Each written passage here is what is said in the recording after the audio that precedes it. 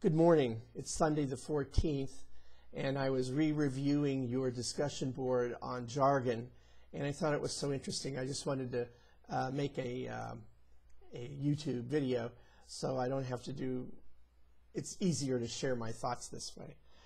Uh, Jim starts out by talking about the jargon of politics, and certainly right now uh, in this election we're hearing a lot of jargon.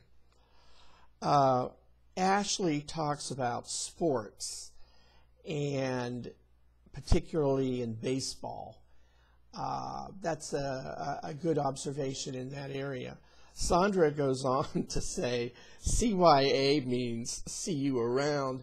In my day, it meant another word, another acronym, and it wasn't see you around. But the one that gets me the most is several people mentioned LOL. I had a friend for years ago who kept ending her emails to me with LOL. And finally I said to her, why are you wishing me lots of luck? So there you go. Uh, you have to be careful when using abbreviations and jargon because they do have, as in CYA and uh, LOL, alternative meanings.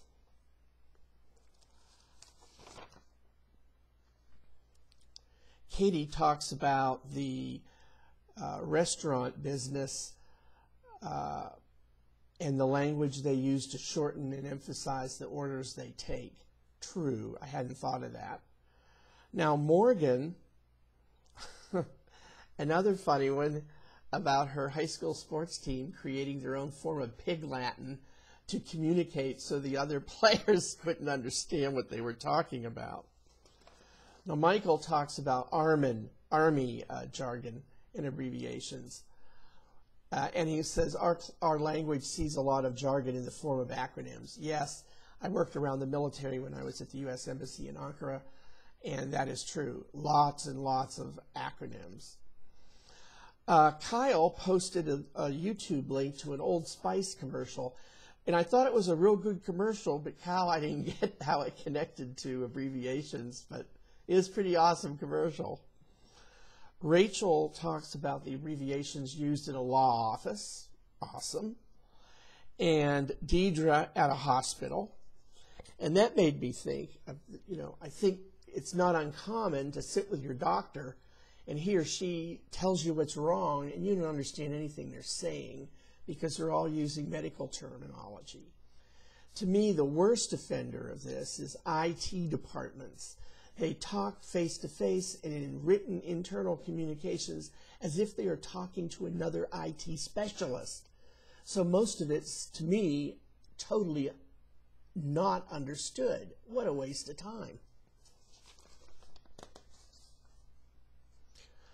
And I, I do think that Deidre's got a good point here when she says LOL and FAQ are used so often that you don't think of them as jargon anymore.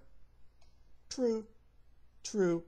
Ashley shares about the jargon at the uh, DMV. Uh, I believe that too. Uh, Jennifer did something interesting. She put a link to a uh, article about the jargon of press releases, and I'd never thought of that before. And that was a pretty interesting article. Travis gets into commodities trading uh, in the grain industry and while I have no knowledge of that industry, I fully believe that that industry, as in all niche jobs, uh, use jargon and tons of abbreviations. Frederick talks about law enforcement and the jargon in, in law enforcement, and I think, you know, if, if only from TV shows, we're made aware of that. Once when I was in the government, I was on the elevator with my boss, and she and I were with a third person who was visiting us at the State Department. My boss went off into a sentence that was 100% abbreviations, 100% acronyms. I've never forgotten that. Remember who you're communicating to you're communicating to somebody perhaps that's not a specialist in what you're a specialist in, your communications should always be to the stakeholder in the language and meaning they live with. Thank you.